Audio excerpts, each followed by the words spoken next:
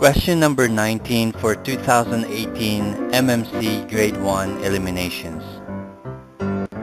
Hey guys, for more MTAP tips, don't forget to subscribe and click on the bell icon so you'll get notifications when we upload new videos. Dennis had 11 marbles. He gave Dan 3 marbles. Bert with 3 marbles and Tony with 3 marbles as well. What fraction of the marbles was left with Dennis? Take note that the answer we're looking for should be in fraction. So let's go ahead and try to solve this problem.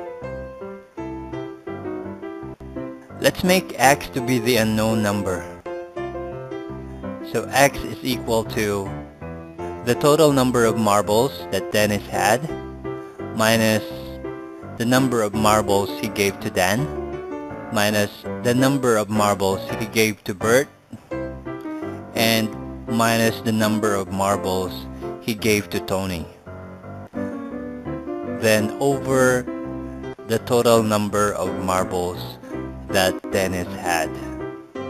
So if we're going to put in the given numbers into this equation, we'll get x is equal to 11, which is the total number of marbles, minus 3, which is the number he gave to Dan, minus 3, which is the marbles he gave to Bert, and also minus 3, which is the number he gave to Tony, over 11, which is the total number of marbles.